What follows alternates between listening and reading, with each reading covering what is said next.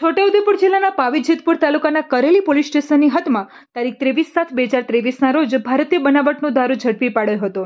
આ અંગે મળતી માહિતી મુજબ ઉચ્ચ કક્ષાના અધિકારીઓ તરફથી જિલ્લા પ્રોહિબિશનની પ્રવૃત્તિનો કડક અમલ થાય તે મુજબ કાર્યવાહી કરવા મળેલ સૂચના અંતર્ગત RP Chaudhary, police sub inspector, Karali તેમજ પોલીસ સ્ટાફ સાથે પોલીસ સ્ટેશનના વિસ્તારમાં પેટ્રોલિંગમાં હતા. તે દરમિયાન બાતમી મળેલ કે નટુભાઈ રાઠવા, રહેવાસી ભૂમસવાડા વાવટી ફળિયું તાલુકો ક્વાટ જિલ્લો છોટાઉદેપુરની વોચ કરી તપાસ કરતા ઇકો ગાડીના ગેસની બોટલની અંદર ચોરખાનું બનાવી અંદર મૂકેલ ભારતીય બનાવટનો વિદેશી દારૂ અને મોબાઈલ નંગ એક કે જેની કિંમત રૂપિયા એક હજાર સાથે ઇકો ગાડી રજિસ્ટ્રેશન નંબર જીજે જીરો છ ચુમ્મોતેર ચોસઠની કિંમત પાંચ લાખ મળીને પાંચ લાખ બે હજાર આઠસો ને સત્યાસીનો મુદ્દામાલ સાથે ઝડપી પાડ્યો હતો.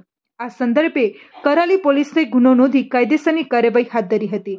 અહેવાલ મુકેશભાઈ રાઠવા છોટાઉદેપુર.